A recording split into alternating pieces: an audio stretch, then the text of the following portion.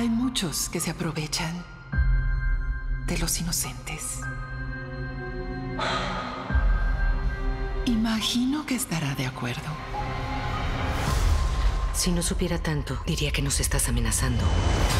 ¿Lo cree usted? ¿Creer qué? Saber tanto.